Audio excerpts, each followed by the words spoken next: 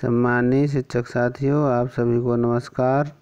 एक बहुत ही महत्वपूर्ण यह है कि निष्ठा, प्रशिक्षण हम लोग 18 मॉड्यूल पूर्ण कर चुके हैं, लेकिन आदेश में यह बताया गया था कि 18 मॉड्यूल पूर्ण करने के बाद निष्ठा की अंतिम परीक्षा भी होगी और उसमें 60 प्रतिशत अंक प्राप्त करना ज़रूरी है।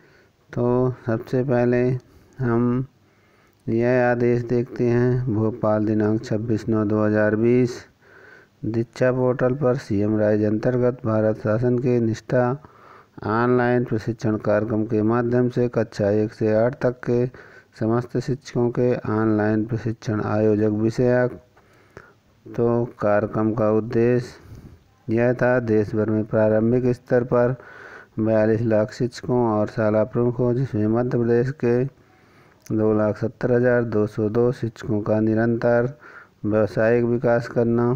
अब हम उस प्रश्न का उत्तर जानने की कोशिश करते हैं, जो कि निष्ठा की ऑनलाइन अंतिम परीक्षा होगी कि नहीं।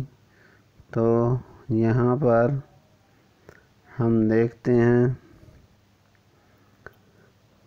कि क्या है इस संबंध में दिशा निर्देश तो यहाँ पर पाँचवें नंबर में है, निष्ठा कोर्स पूर्णता पर सर्टिफिकेशन शिक्षकों द्वारा प्रत्येक मॉड्यूल पूर्ण करने के बाद पूर्णता प्रमाण पत्र संबंधित शिक्षक को ऑनलाइन प्राप्त होगा। इसी प्रकार प्रत्येक मॉड्यूल पूर्ण करने पर पूर्णता प्रमाण पत्र प्राप्त हो गए।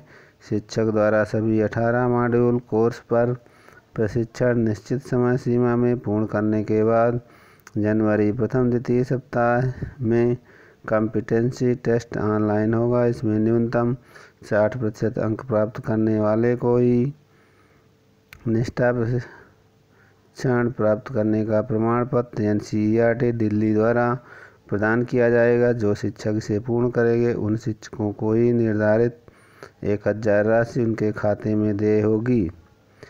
तो यह आदेश था कि साठ प्रतिशत अंक कॉम्पिटेंसी टेस्ट में जो शिक्षक लाएँगे, उन्हें ही एक हज़ार रुपये की राशि खाते में दे होगी।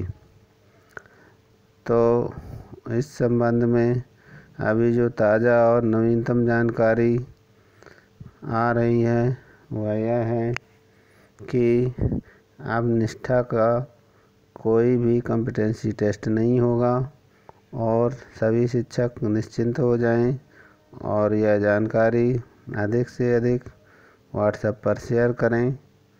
धन्यवाद।